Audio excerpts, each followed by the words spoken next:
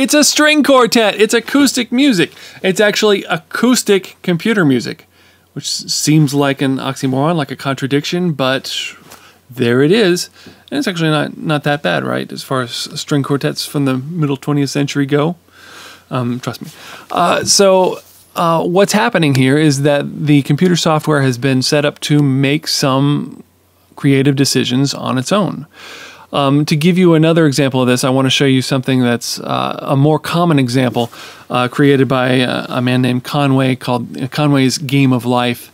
And it's a way of uh, creating really simple animations.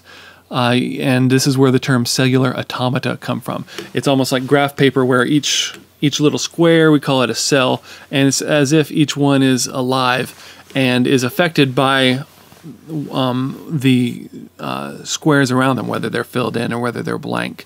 And uh, this example shows how some really beautiful and organic patterns can come out of just very simple rules. These simple rules are the algorithm. That's what an algorithm is, just following simple steps, and often with algorithmic composition, or in visual art, we might call it generative art because it's generating something from very simple starting point.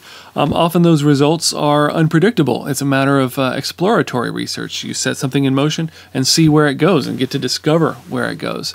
Uh, and uh, sometimes it looks horrible or sounds horrible. Sometimes, uh, within the hands of a skilled researcher, uh, they can look pretty cool.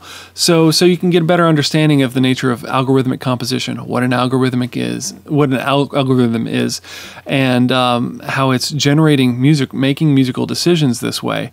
Uh, take a look at this video, uh, just uh, this excerpt from the middle of it to get a better idea.